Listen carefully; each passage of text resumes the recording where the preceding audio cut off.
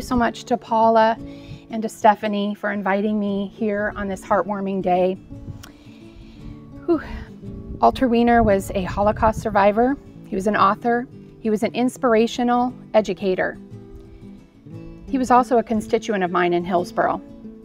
He lived close by, and I was lucky enough to call him a friend. I met Alter Wiener years ago while I was on the Hillsboro School Board. My son Jordan was in middle school when he first met Alter and heard his story. So he met Alter before I even did. I remember when Jordan came home that day and he spoke of the visit and the impact that it made on him. So many people have had this privilege of hearing Alter's story and having that same impact over and over. I describe Alter as an inspirational educator of truth. His painful lived experiences were shared with many young audiences across the United States.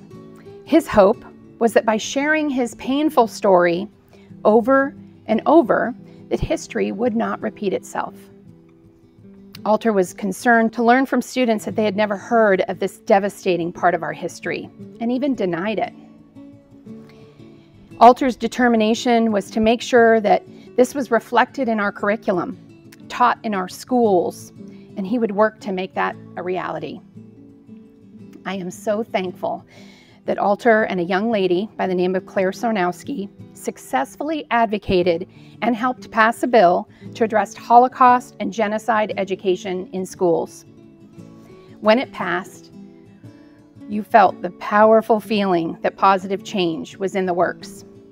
Sadly, Alter was not with us. His life was cut short by tragedy. Alter's lessons reached all age levels, from young to the old.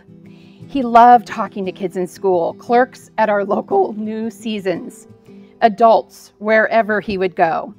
He was a people person. He valued the importance of conversation, the laughter, and the love. His hope through Holocaust and genocide education instruction was that we would continue to teach lessons of tolerance, kindness, and love, and to strive, in his words, and I quote, incessantly to divert the rivers of hatred so that another Holocaust should never, never, never happen again.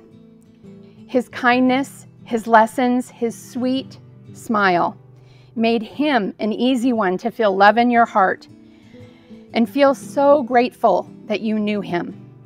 I am so pleased that you are honoring Alter and his legacy in this way. It is truly a beautiful memorial.